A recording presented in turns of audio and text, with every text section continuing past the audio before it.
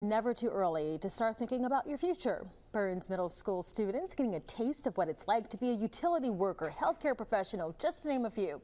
Arnaya Spraggs is taking you to their community resource fair. Burns Middle School transformed into a bustling hub of career exploration as hundreds of students from 6th to 8th grade attended a college career mental health and community resource fair. There was a diverse range of careers represented, including the Mobile Police Department, Alabama Power, and Franklin Primary Health, all engaging with eager young minds. It showed me like how careers are, and like showed me like the paths of how I could be later on down the line.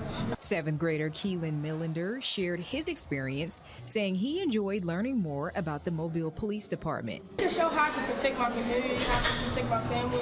His classmate Connor Richmond echoed the sentiment, emphasizing the importance of the event in shaping future aspirations.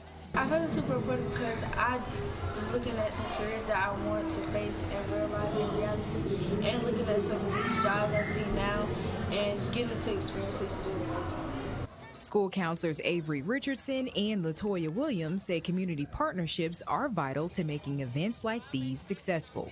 I feel like relationships are the capstone making all this stuff happen, and we're grateful for them to come out and partner with us. So the turnout was great. Um, the planning, we did not have a lot of time. We did this right before spring break. It turned out wonderful. The students um, knew exactly what to do.